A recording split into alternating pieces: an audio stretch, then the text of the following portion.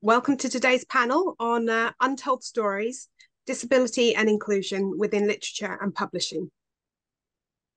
I'm Claire Wade. I'm a white woman with dark blonde hair wearing a red jumper. I'm the author of The Choice, uh, winner of the Good Housekeeping First Novel Competition and the East Anglian Book Award for Fiction. I'm the founder of Authors with Disabilities and Chronic Illnesses, also known as ADCI. Historically, disabled people have been silenced, their stories ignored or told by non disabled writers. Disabled creators are now fighting to be seen and heard, working to gain visibility on bookshelves and literary stages. Today, I'm joined by award winning author Penny Parkes, poet and founder of CRIPtic Arts Jamie Hale, and Penny Batchelor, author and founder of Keep Festivals Hybrid. We're here to discuss why literature needs to be more accessible and inclusive. This session will last 45 minutes. It's virtual, which means we have people watching in Cheltenham and online. To ensure accessibility, we have a BSL interpreter, Holly Harwood, and Zoom captions are also enabled. The panelists will now tell you a little bit more about themselves. First, we have Penny Parkes, or Penny P. Hi, I'm Penny Parkes. I'm 48. I'm white with curly hair. Uh, I'm wearing a soft green dress, and I'm talking to you from my home in the Cotswolds. Um, I've lived for decades, really, with a with a disabling alphabet soup of autonomic and autoimmune um, diseases, um, which are for the most part invisible and also dynamic, uh, something which we're probably going to come back and talk a little bit more about later on. I've also published six books. Um, I've topped the Audible chart, the Kindle chart. I've won the award for romantic comedy of the year uh, with my debut novel, which was the first in the Out of Practice series. Uh, and my latest two novels, Maybe Tomorrow and Home, have a slightly more sort of book club feel, uh, which gave me um, well, the chance to delve a little bit deeper into sort of light and dark of contemporary life and explore some characters that I think will maybe resonate a little bit more within today's conversation. Um, I'm delighted to be here today remotely because otherwise I wouldn't be able to talk to you. I'm very much uh, a remote author these days, and please forgive me if I glance at my notes from time to time. Uh, there's an awful lot to talk about. Um, we're somewhere between the estimate now is 24 and 30% of the UK population um, uh, basically disabled or living with chronic illnesses. Um, I don't think there has ever been a more relevant time to talk about what we're discussing today, um, and certainly how many of them um, enjoy books, enjoy reading, enjoy living um, through the pages of, of our work. And I, am incredibly grateful to Cheltenham Festivals for, for hosting this event and giving us this opportunity. Thanks, Penny. Now, Jamie. Hi, um, I'm Jamie Hale. I'm a white genderqueer person with dark red hair and a beard. Uh, my wheelchair headrest is round my head, and I'm wearing a black floral t-shirt. My background is blurred. Um, I'm cross-disciplinary creative and writer, um, including the poetry pamphlet Shield. I founded award-winning CRIPtic Arts and the Disabled Poets Prize, and I've also carried out research into the experiences of disabled people in literature, titled Access to Literature. Um, as someone who is disabled. Um, I'm a full-time electric wheelchair user with a progressive physical condition, and this has really shaped my commitment to accessible literature opportunities and to recognizing the value that disabled people bring to the industry in terms of authenticity, experience, and more. And thank you for having me. Well, thank you. And finally, Penny Batchelor or Penny B for today. Yes, uh, Penny B today. It's uh, not very often I'm with another Penny. I was always the only Penny in my class at school, uh, which was a long time ago. I'm um, a woman, white woman in my 40s. I have a dark blonde bob and I'm wearing a pink and red striped jumper. Um, I am the Amazon best-selling author of two psychological thrillers. Um, her perfect sister, sorry, my perfect sister and her new best friend. And I'm published by Embla, and I have another book hopefully coming out in June next year. I am the co founder of the ADCI Literary Prize, which is aimed to celebrate disabled authors who write adult fiction which have one or more disabled characters. And we also want to really promote representation in fiction for disabled people in general, and that books don't have to be about disability. Our character, we should just be there as, as because we're all part of a modern day society. Um, I'm also a freelance journalist. Um, recently had a piece commissioned by the Women's Prize for Fiction, which is on their website, and I'm a regular columnist on disability issues and publishing for the bookseller. Lovely. Thank you so much. We've got a fantastic panel, so I'm really looking forward to hearing what you have to say today. First, let's understand why disability inclusion is important. What do you think disabled authors and poets bring to literature? Penny Parkes. Well, for me anyway, when it comes to um, fiction, I think the pivotal point for every novel, and I probably am going to be talking more about fiction than nonfiction. Um, it's just relatable and nuanced characters.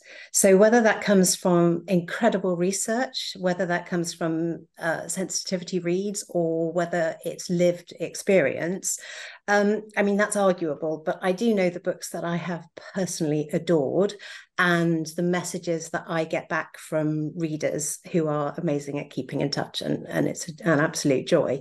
But they all tend to focus when we're talking about health and disability issues on the same thing. It's on feeling seen, it's on feeling heard, and it's having that resonance within the plot line or the characterization that touches them and relates to them personally. Because and this is only my opinion. I, I think that's the way a book becomes a slow burn bestseller. I mean obviously there's tiktok and all these things that i probably don't understand the way i should but um, there is a massive a massive community of readers book bloggers um, even you know obviously staff within um, the publishing industry who identify as disabled or have chronic health issues and have to adapt. And i think possibly sadly with recent events a growing number. So what we need to do is is not just address those um, lived experiences um, as a sort of a you know a, a genre in itself um, but as readily and truthfully and without filters as as we would anything else because i think the more we filter it or the more we try to pigeonhole it um, we leave fiction generally all the the poorer for it. But let's be frank it's a really hard line to walk. Um, and it's not it's well it's basically because we're not talking about education here. We're talking about a different way of living. Um, lives that are still rich and fulfilling and very much part of our society. And and i mean i feel that they should be sort of proudly portrayed within our literature rather than sort of pigeonholed to one side. Um, and also it's my quiet bugbear, never really used as a shortcut to characterization. Um, so, who better I mean, who better to write those stories than than the people who have those lived experiences? Brilliant. Thank you. Jamie. I think every author brings something of themselves to the work that they write, and that that is so informed by their own experience that when we don't have disabled writers, then there is something missing throughout the industry. And that's not just in how we write about disability, but perhaps in how the ways in which disabled people move through the world and how that informs our writing far beyond any sort of even connected content. And then when there are no disabled writers and when there are no authentic stories about disability, it creates a void in the market. And that void becomes filled by other people writing disabled characters and writing about disability. And of course, they don't have a wealth of literature with disabled characters written by disabled authors to draw on. So slowly we develop more and more tropes and more and more caricatured ideas of what it is to be disabled, because the stories that we hear about disabled people become increasingly reinforced by those cultural narratives and divorced from our actual experiences. And I think what we bring is the ability to really revitalize how one can write a disabled character or how a piece can be informed by disability in the work that we create that will then inform and shape the work by other writers, both disabled and not. Yeah, that's, that's really important. Penny B. Well, in my opinion, I think disabled authors and poets bring fantastic stories and our a different viewpoint to literature and fiction. So I'm talking about fiction and and and not uh, non-fiction now. It's all about taking the reader to different places, lives, experiences that they haven't had. And some of the best books that you read can really show you something that you've never even thought about or um, experienced yourself. And if disabled people are missing from that narrative, well, as Penny P said, we're between 20 and 30% of the population. And that is weird if we're not there. There's been a fantastic push in the industry, although we could still do more for representing, for example, people of colour, uh, Black and Asian experiences, um, queer experiences, and what have you. But I do feel that disabled experiences are are lacking. And we need, as Jamie said, we need more disabled writers to actually tell us what it's like and not fall into those awful tropes of triumph over tragedy or misery memoirs or that um, you have to prove something if you're disabled to prove that you're as good as anybody else because we jolly well are. Yeah. So, from the sounds of it, you don't think that this is just for disabled writers. This isn't only disabled readers. Penny Parkes. No, is... no I mean, abs- absolutely no. I mean, um, we are we are creators pure and simple um, and our skill with words and our word building is is it's all encompassing but it could also be illuminating mm-hmm. um, and often i would actually argue that having a, a, slightly more challenging set of personal circumstances gives us a bigger repertoire to draw on when we're shaping our characters and our worlds and and maybe sort of touching levels that someone who maybe has a, a slightly more straightforward setup it probably wouldn't even occur to them. I hear very often, oh my God, I would never even have thought of that. And whether that's talking about characterization or organization, um, it's just something I hear a lot. And, and so that's my goal. That's my little kind of personal goal is to try and interrupt that. But when it comes to creating my my books, um, I take enormous pride in working on the balance because I don't believe that anybody, any reader, disabled, abled, otherwise, wants to pick up a book and feel preached to or, or actually educated. I, I think they want to be transported. It's that willing suspension of disbelief. It's it's that word build, world building again. Um, I mean, we can still be funny. I mean, mine's quite an edgy, dark kind of humor at times, but I think we all have to live with that sometimes. We fall in love, we work, we raise families, um, and whilst disability might dictate how we live our own everyday lives, um, it doesn't have to be our defining characteristic or pivotal to everything we do in the same way that books featuring disability um, that have moved me the most have often had the lightest the lightest of touches it hasn't been the main meal it's been the seasoning that brings out the flavor mm. and and i just think that's so important because when it comes to how a book is marketed or promoted I, I, think it's the emphasis that's crucial. Yes. Um, and I think readers might be missing out on some truly amazing works of art if they're billed solely as revolving around chronic illness or disabled. Uh, uh, you know lives rather than the layered and unique voice that you're getting you know possibly for 99p on kindle um, and actually i kind of wanted to touch on that because I love to hold a paperback. I can drop it in the bath, no drama.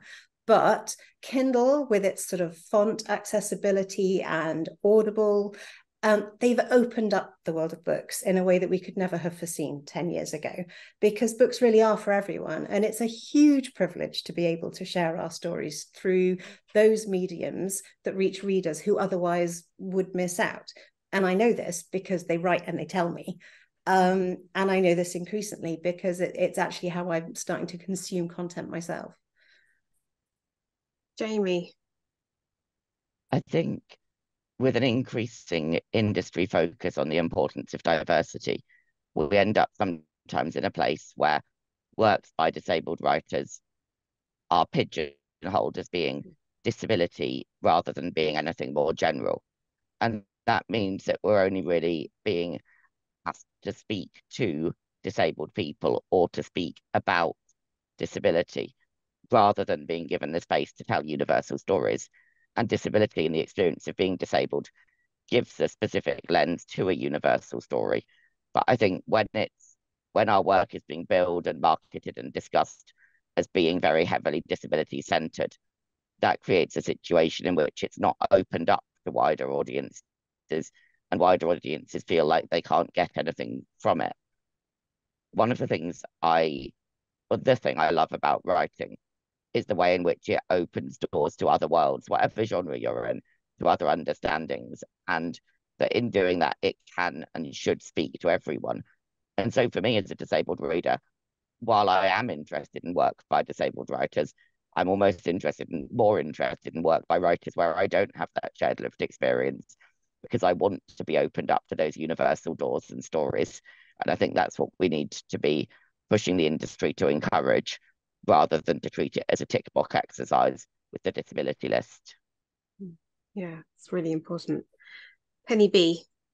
Well, um, following on from what uh, Jamie said, I totally agree that um, we don't want to be pigeonholed as just for disabled people. Our work just for them, and I, I, so I would urge any publishers and agents looking, please don't uh, fall into the trap of thinking, oh, well, there's just a small disability market that other people won't want to read it. Because if a book is well written, of course they will. Um, we're part of society and our stories are for all. I read books um, by authors that I have no experience of their culture or what have you, and it opens the world, opens my eyes. Um, it's brilliant. Um, and I would just like to say that in my psychological thrillers, I include disabled and chronically ill characters because we are part of the modern day landscape. Uh, but my books aren't specifically about disability. We're just there, and the characters are flawed and human. Their colleagues, their friends, their neighbours, just as in everyday life. And the last point that I would like to make um, on this question is that whilst I completely champion disabled authors, I don't think that people who are non disabled should never write disabled characters. I want you to be our allies, but would say, do your research, talk to us first, and avoid all those awful stereotypes that I mentioned earlier on. Brilliant. Thank you. Well, I think you've uh, successfully covered both the that question and my next one. So I'm going to skip over to the uh, one after that. What are some of the obstacles you've faced as a disabled author or poet? Penny Parkes. Well, I, th- I think Rick just cards on the table. I think there is a a truly pervasive fear throughout the arts that if you are perceived as a creator who is in any way in need of extra accommodations um, or expensive, or perhaps requires that little bit of extra thought, um, that there will always, always be plenty of other authors and creators ready and willing to step into your shoes. Um, and that fear is everything really because it's the moment you you kind of have to be brave and say I need to do this event remotely, or I need an overnight before and after the event, or I can't travel and do the event on the same day, or even as a, a recent example that, that I've been my ongoing discussions about accessible fonts, not just. Oh, Penny has um, frozen a bit. I think she, her Wi-Fi in her lovely uh, cottage might be playing oh. up. Oh, she's back again. I'm back. Did you You're lose back. me? Keep going. Keep going. Um, in an ideal world, uh, authors who aren't at that sort of celebrity level would feel okay about asking for what they need i suppose is what it comes down to and i know far too many authors who live in a cycle of boom and bust um, it's it's behind the scenes and I, I did it myself for years yeah thanks penny i think we'll go to jamie now so I guess I kind of see the obstacles I've faced as being both boxed in and boxed out. Being boxed into the idea of being a disabled writer, being the pick for a diversity panel, etc., but not being of interest as a writer. and then being boxed out of being able to create about other spaces and other identities and other experiences and being in that universal. Um, I find certainly that there are significant physical barriers, whether we're thinking about the number of events that don't have wheelchair access or have wheelchair access for audiences, but not people who are reading or speaking, whether we're thinking about the costs of bringing the 24 hour one to one support I need with me, as well as the costs of bringing me up, whether we're thinking about events being entirely in person rather than there being an option of participating remotely. Certainly, there are a huge number of barriers in that area. And my desire to be able to access physical spaces is strong, but I also want there to be virtual spaces. I think sometimes I found that the industry says, oh, you know, the room's not accessible, but you could do it over Zoom. And that's not an answer either, because trying to create opportunities that are actually accessible and overcome these obstacles requires you to be thinking about access, valuing the physical and the virtual equally, and ensuring that the audiences, speakers, etc., in both of those have their needs met and are able to really participate and contribute. And I know that I found that when I actually push and ask for accommodations, generally speaking, people are incredibly supportive and understanding and they're made. But I'm aware that I'm very used to advocating for myself. And I worry about the experiences of people who don't feel able to push back at all. It shouldn't be that you have to be willing and able to push back to be able to take part in the industry. Um, and then briefly, that when I did the access to literature research with Spread the Word, focusing on the barriers faced by disabled writers in the industry, key barriers were financial ones that people literally couldn't afford to take part in it. There wasn't enough paid work, and many of the opportunities that people wanted to participate in were instead sort of paid to participate. But people also talked a lot about the obstacles of never seeing yourself represented. And that's a big part of it. I don't remember really having read at many events where there's been another electric wheelchair user at the same event also reading. They've got one, they've ticked it off, that's brilliant, done, sorted and you end up if you don't see yourself reflected in a space feeling like you don't belong in a space and that creates such a strong barrier to being able to push yourself forward and go for opportunities because if you're the only one like you then how how do you do that yeah it's it is and it's really hard having to ask for what you need and, and worrying about how that's going to jeopardize potentially your career um, as being maybe seen as the difficult one, which you shouldn't be. That's not, it's not okay. But there is that fear. And that was what I, you know, struggled with when I was publishing my debut. Penny B, what's your experience of this? Well, following on from what Jamie said about being the only wheelchair wheelchair in the room, I'm a wheelchair user and I'm I'm a hearing aid user as well. And I can uh, vividly remember going to one uh, very big festival, and there were there's me and another wheelchair user there. It was lovely to see him because it's it, it it's hard being the only one in the room because then the whole onus is on you to ask for uh, accessibility information and to point things out. And sometimes people, you know, they, they do their best to try and make it accessible, but it isn't because they've not had somebody go and road test it or what have you. And I've been very fortunate, really, as a disabled author. Um, when I first started querying, I was very concerned that my lack of mobility would count against me because I can't jump on a train and go to London.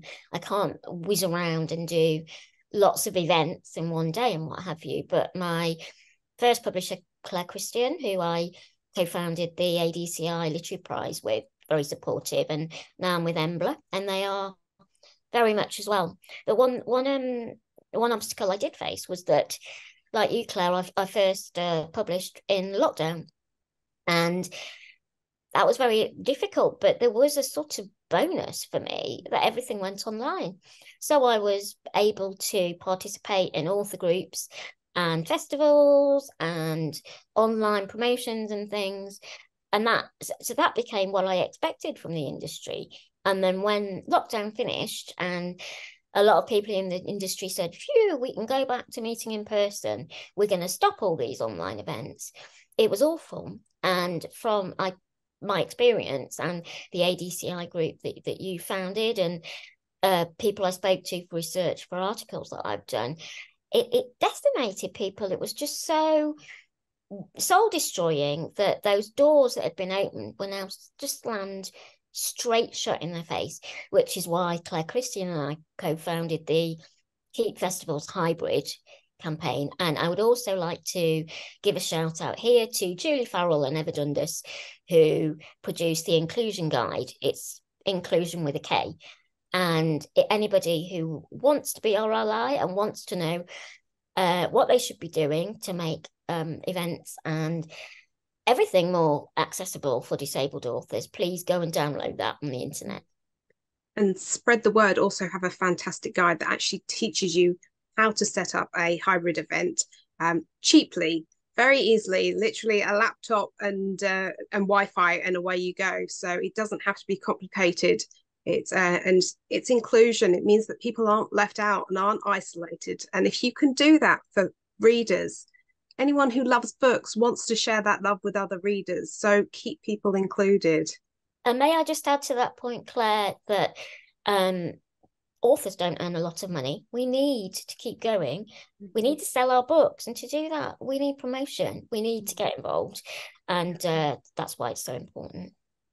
Which leads on to my uh, next question, which is about how do we get better visibility for disabled authors and disabled stories? What can the publishing industry do, and what can can readers do as well? Penny Parkes. Um, well, I have a bit of a conflict here because I think the sign that we've made true progress is when a disabled story becomes just that a story. Mm. Um, I think it's a sign of our times when it's fully integrated, it's accepted, it's validated. It's a novel that embraces a life lived differently. And I think actually that really encompasses so many genres within the publishing industry, full stop. Uh, for me, the win would be a shift in, in the attitude or the perception um, it's it's a willingness, I think, really by commissioning editors, booksellers, readers, evening. Uh, it's just to be prepared to feel a little bit uncomfortable just for a minute, um, and then to appreciate that between those pages is an insightful, vibrant story with relatable characters that still resonate long after the the final page. Because if we ask for a category, well, then then where do we fit? Because when it comes to invisible disabilities or dynamic disabilities where one day you're functional the next day you're in a flare um, and even on the days i i am in a flare i get that dreaded line oh but, but you look okay come on you you can do it. Um, so and, and i get that from from friends as, as well as colleagues so so don't feel bad. But i mean i do i do genuinely wonder if i turned up here today in my in my lovely pajamas um you know with an oxygen mask would my voice still be heard? And you know would my opinion about any of this carry the same weight? So it doesn't really seem how many books or awards or chart toppers are sort of stacked on the shelves behind me. I think it's another uncomfortable truth. And until we start addressing those uncomfortable truths i don't really think that anything's going to change. And that tide has to turn um, so that creators, and I mean, some of the very, very best talent in the world look at the publishing industry and see it as a valid career choice and look at writing and think, I can make a living from that. Um, and at the moment, I think we're all missing out slightly as a consequence of that not necessarily always being the case. Um, it's crossing that that sort of boundary of of of momentary discomfort of of admitting, look, I don't know, I don't understand, I don't live with it, but I'd like to learn. Um, and and actually being willing and open. And just because I sort of scooched out of the other question, the biggest thing for me, the biggest thing is offer. Um, for particularly for debut authors, I think if somebody offers you a situation, it is so much easier to accept than to have to be brave and ask. Um, we're not all sort of you know big big names that can kind of come in with a rider an arm long. I, I just think if you're if you're new, if you're nervous, if you're feeling vulnerable, and that vulnerability feels so so much bigger than it probably is, um, having to ask for those accommodations can feel enormous and off-putting. So I think people don't ask. Um, and that's where I'd like to see the, the the tide turn a little bit. But in terms of better visibility, oh, a meeting with a marketing person and a PR person and, and sitting down and saying, you know, yes, this is my life, but let's talk about my work. Yes. Um, and let's see how we can bring it to the to the people who deserve to read it and see it and would then be brave enough to put their own manuscripts in that you know envelope and send it off because god knows that's scary anyway so brilliant thank you jamie I think Penny P touched on a really important point there around the idea of normalizing, particularly in fiction, the idea that the default character could be a disabled character rather than the default character being a non-disabled character. But I think beyond that, thinking about getting better visibility, this requires sustained industry investment in kind of supporting works and writers. And I've seen that in the bookseller particularly, which has really increased focus on the coverage of work by disabled writers enormously. And that's brought people to far higher prominence. Um, one of the things that we founded at CRIPtic Arts was the Disabled Poets Prize. And that was about capturing work by new and established poets and really giving it that boost, that publicity, that push forward, as well as being able to give writers a financial award. And I think the wider industry needs to commit to things to to projects like this that really focus on raising the profile of work by disabled writers so that the so that other aspects of the industry really have to pay attention to it and so that it can't be kind of ignored sidelined and marginalized. But i also think that we need to be careful as we do this and that if we are currently as i hope we are focusing on how we open up the literature sector to more diverse disabled stories. How do we make sure that we're not reflecting the overwhelming whiteness of the literature industry in the opportunities we create and the people we bring forward and the events and the work and all of the things that we push through and thinking about making sure that we're recognizing the different barriers that different people face to these opportunities and that just as we feel unseen and unrepresented in an industry that doesn't reflect us and our body minds and our experiences how do we make sure that we don't end up reinforcing that in other elements of the industry in the work that we do? Hmm. yeah very very important. Thank you. Penny b. Well um i think this we need to expand this question out into the industry. We need allies. Uh, disabled writers we can make you a lot of money which is what uh, what the publishing industry industry wants, isn't it? That we need your support in marketing budgets, um, online events, and what have you. And we need more disabled people getting high up in uh, publishing companies they have their lived experience, so they're not going to feel, as Penny P said, uncomfortable about maybe commissioning some things they don't quite understand it, or they think people aren't going to want to read it because disability is a bit icky and um, isn't everybody just miserable anyway, or that sort of thing. Um, and, and we need booksellers and bookshops to promote our books and to really spread the word but I would also add a, a comment here that please just don't pigeonhole disabled writers as just writing about disability. We can write about anything that we want. And I, because I'm a disability campaigner and I'm campaigning for uh, better treatment and awareness of disabled authors in the industry, yeah, I do talk about this subject a lot, but I'm also a crime writer. So I want to be invited to go on panels to talk about plotting and uh, frenemies and uh, cliffhangers, red herrings, and, and what have you, and the state of the crime fiction market too. So don't don't uh, just stick us in a box. Thank yeah. you. Brilliant. Well, we have almost run out of time. So very, very quickly, what's one thing that you think the literary world could do to encourage and support disabled authors and poets? Penny Parkes. Well, I think in in realistically, um, being made to feel welcome in your own profession is enormous. Having a an open minded and willing team, whether that's agents, publishers, booksellers, organizers, uh, it really makes the difference between sort of enduring the process and having a, a, a sort of an enjoyable career and success. But I think the really, really crucial thing is that so many of the adjustments and accommodations that would mean the world to us cost nothing. Mm. They hmm. cost publishers nothing. They cost event organizers nothing. Um, but they, they, they are literally everything in terms of changing the course of a career or as we've discovered sort of a third of the population's career um, and i know so many um, amazing suggestions have been made here today but i think the biggest shift just has to begin with a mindset around what disabled creators can bring to the table and to the industry um, and to be seen as an asset if you like rather than a liability or worse still that sort of tokenism that you see occasionally.